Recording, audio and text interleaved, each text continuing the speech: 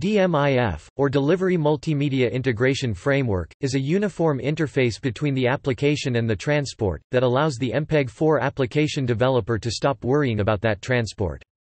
DMIF was defined in MPEG-4 Part 6 ISO, IEC 14496-6 in 1999.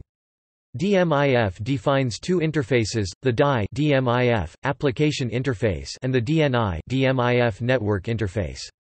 A single application can run on different transport layers when supported by the right DMIF instantiation.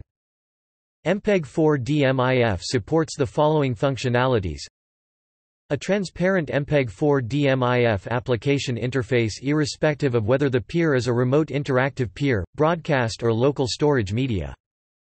Control of the establishment of FlexMux channels Use of homogeneous networks between interactive peers, IP, ATM, mobile, PSTN, narrowband ISDN. Support for mobile networks, developed together with ITU-T User commands with acknowledgement messages Management of MPEG-4 sync layer information DMIF expands upon the MPEG-2 DSMCC standard ISO IEC 13818-6 to 1998 to enable the convergence of interactive broadcast and conversational multimedia into one specification which will be applicable to set-tops, desktops and mobile stations.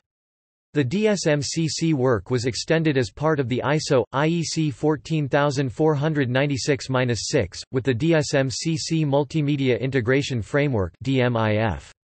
DSMCC stands for Digital Storage Media Command and Control. DMIF was also a name of working group within Moving Picture Experts Group.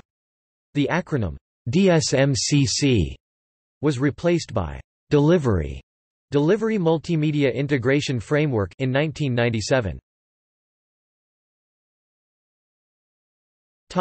References.